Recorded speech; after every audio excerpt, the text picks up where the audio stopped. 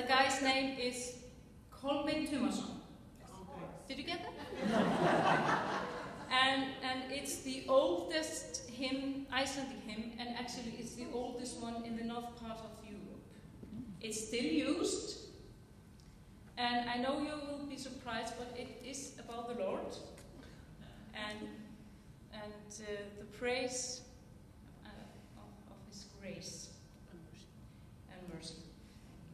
and the name is